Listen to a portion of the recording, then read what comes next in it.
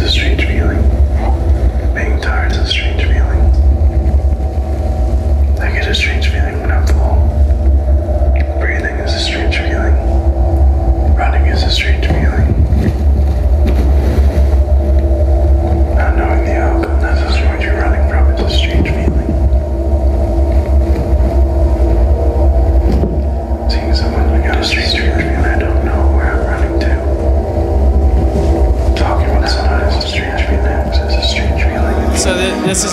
Effects. I'm Pablo Gnecco, and uh, what's pretty much happening right now is there's people over there being captured in the 3D space by the Kinect.